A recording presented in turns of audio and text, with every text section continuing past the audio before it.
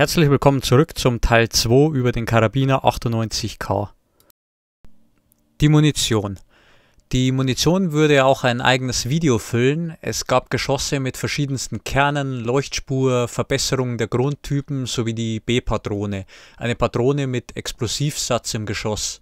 Bei Wikipedia steht, dass diese Patrone als Nachtkampfmunition für Maschinengewehrschützen entwickelt wurde, um im Gegensatz zur Leuchtspurmunition die eigene Position nicht zu verraten, da diese einen kleinen Lichtblitz und eine kleine ja, Rauchschwade im Ziel abgibt.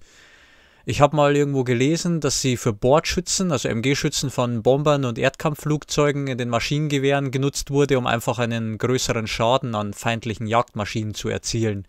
Ich kann dafür aber keine genaue Quelle mehr nennen. Man häufiger in dem Thema liest, ist die Munition SS, also kleines s. Punkt, großes s. Punkt. Das steht für schweres Spitzgeschoss. Dies war die häufigste Patrone. Von ihr wurden zum Beispiel 471 Millionen Stück produziert und das in den ersten drei Monaten des Jahres 1939. Weiter gab es noch die Patrone SMK, also großes S, Punkt, kleines m, Punkt, großes K, Punkt, die zweithäufigste. Von ihr wurden im selben Zeitraum 48,5 Millionen Stück gefertigt. Mehr dazu im Link in der Videobeschreibung. Später im Krieg, als Messing schwerer verfügbar wurde, wurden auch Stahlhülsen produziert. Diese verursachten regelmäßig Störungen in den Maschinengewehren. Transportiert wurde die Munition vom Soldaten in zwei Dreiertaschen für Ladestreifen. Es passten bis zu drei Ladestreifen in eine Tasche, somit 90 Schuss pro Mann. Meines Wissens nach wurden aber nur zwei Streifen pro Tasche mitgeführt. Die Fallschirmjägertruppe nutzte die normalen Taschen auch, aber in erster Linie ein Patronenbandolier, das man sich um den Nacken hängt und vorne am Koppel befestigt. In dieses passten 20 Ladestreifen, somit 100 Schuss. Kommen wir zu den Sonderversionen des K98. Hier haben wir ein Gewehr mit Klappschaft. Nachher folgt dann noch ein Bild mit ähm, K98K mit abnehmbaren Lauf. Der Karabiner mit Klappschaft wurde zusammen mit der Waffe mit dem abnehmbaren Lauf als Experimentalwaffe für Sondereinheiten, wie zum Beispiel Fallschirmjäger in Oberndorf, in sehr geringer Zahl hergestellt. Es gibt dann noch eine Variante mit Kunststoffschaft. Die Mauserwerke in Borsigwalde haben mit Kunststoffschäften experimentiert und diese sind auch extrem selten. Ebenso gab es auch Sport- und Zivilwaffen. Hier ein Foto vom Waffenmuseum in Suhl, das ich vor kurzem gemacht habe. Weiterhin gab es noch den G3340. Der G33-40 wurde speziell für die Anforderungen der Gebirgstruppe gebaut. Er war kürzer und hatte am Kolben eine Metallverstärkung, um zu verhindern, dass der Schaft beschädigt wurde, wenn man mit den genagelten Gebirgsstiefeln gegen den Schaft stieß. Zum G40K habe ich jetzt keine Bilder. Es wurde bis Juli 1942 28 Mal gebaut zu Testzwecken und von Mauser in Oberndorf entwickelt. Die Lauflänge betrug 490 mm. Kommen wir zu Export- und Lizenzproduktion des Karabiner 98K. Im Hintergrund habe ich einfach als Füllmaterial Aufnahmen der Wochenschau vom 5. März 1945. Das steht jetzt nicht im Zusammenhang mit dem Karabiner 98K, beziehungsweise jetzt nicht bewusst. Der Karabiner 98 wurde in etlichen Ländern unter Lizenz produziert, darunter Schweden, Argentinien, Spanien, Iran, Peru, Chile, Mexiko. China. Für China habe ich widersprüchliche Angaben gefunden, deshalb folgendes nicht 100% äh, für bare Münze nehmen.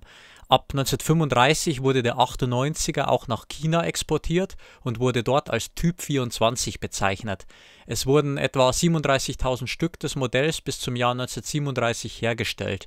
Im Austausch gelangten die für die deutsche Rüstung dringend benötigten Metalle Wolfram und Zinn nach Deutschland.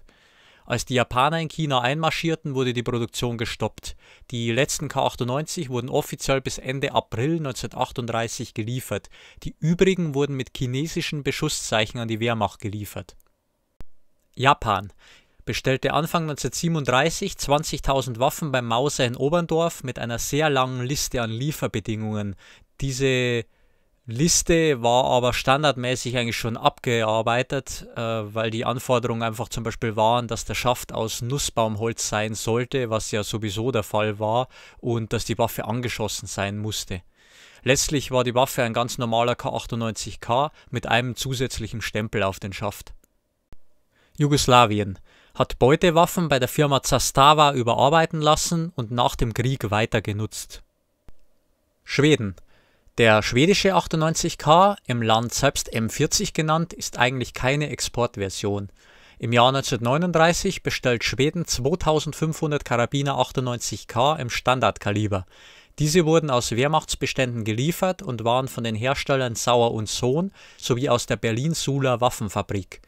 In Schweden wurden diese Waffen auf das Kaliber 8 x 63 mm umgerüstet, das damals das stärkste Kaliber einer militärisch geführten Handwaffe war.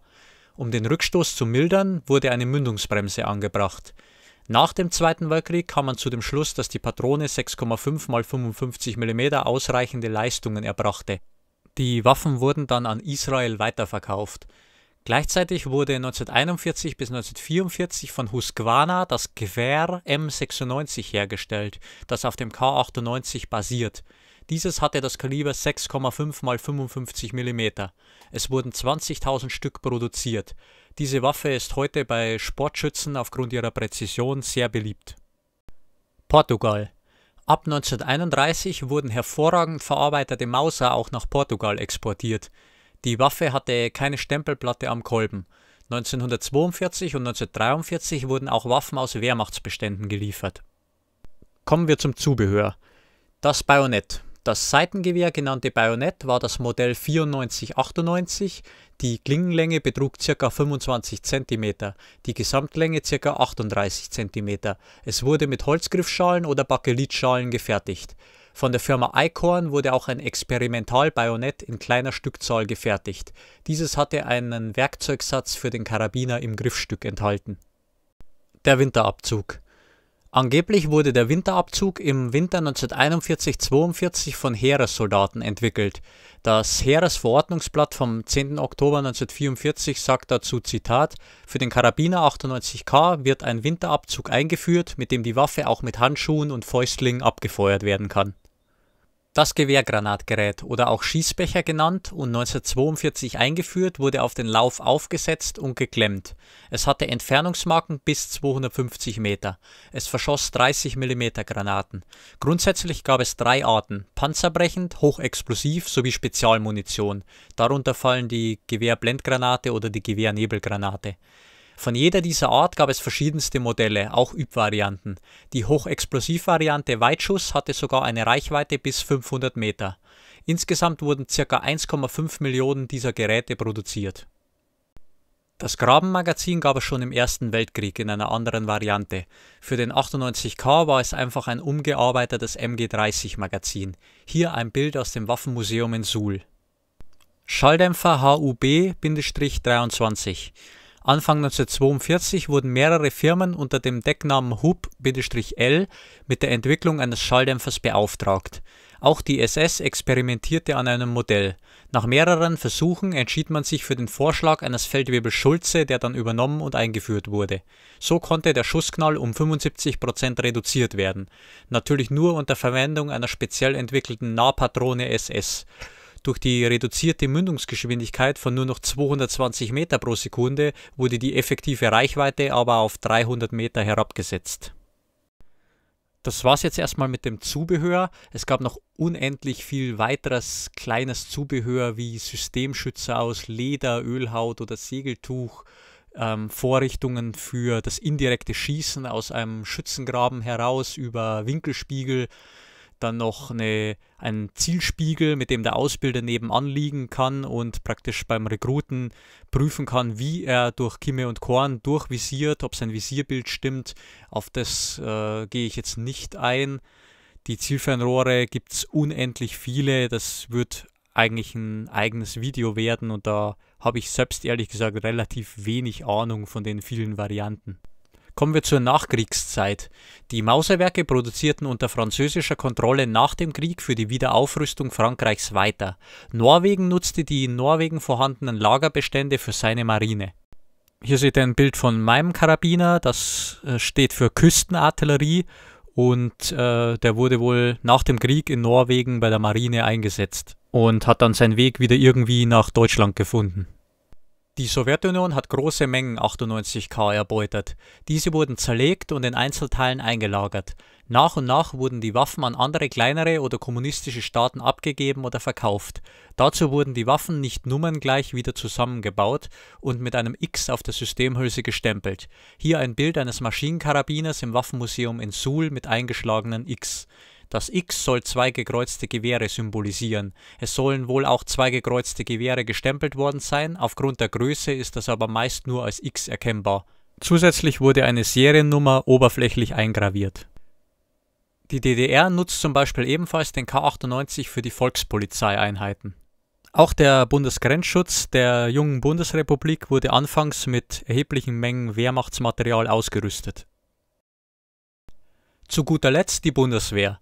Noch heute werden vom Wachbataillon für den Protokolldienst, also bei Staatsempfängen, schussunfähig gemachte K98K genutzt. Es soll aber auch noch einige wenige scharfe Waffen für das Abfeuern von Salutschüssen geben. Ja, dann bedanke ich mich mal für die Aufmerksamkeit.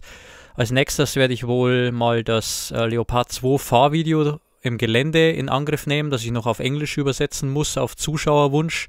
Und dann will ich eigentlich noch ein Leopard 2 Video machen über eine Gewässerüberquerung, das auch die Bundeswehr selbst auf ihrem Kanal veröffentlicht hat und ja, ich habe es eben von der anderen Seite gefilmt. Also bis zum nächsten Mal. Servus.